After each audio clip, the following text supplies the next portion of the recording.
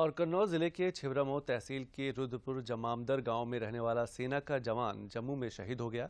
बताया जा रहा है कि शहीद राजकुमार यादव जम्मू के नागरौटा में एलआरडब्ल्यू 72 में तैनात था। पिछले साल बॉर्डर पर गश्त के दौरान गाड़ी खराब हो गई थी। राजकुमार यादव उसको ठीक कर रहा था, तभी बर्फ़ में फिसल गया। इस दुर्घटना में बचने के दौरान उसके सीने में काफ़ी चोट आई थी।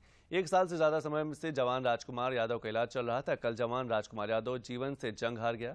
शहीद जवान का पार्थिव शरीर उसके पैतृक गाँव लाया गया, जहाँ पूरे राजकीय सम्मान के साथ जवान को अंतिम विदाई दी गई। मेरा बेटा एक्सपायर हो गया है।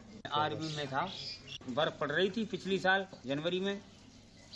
तो गाड़ी में काम कर रहा था।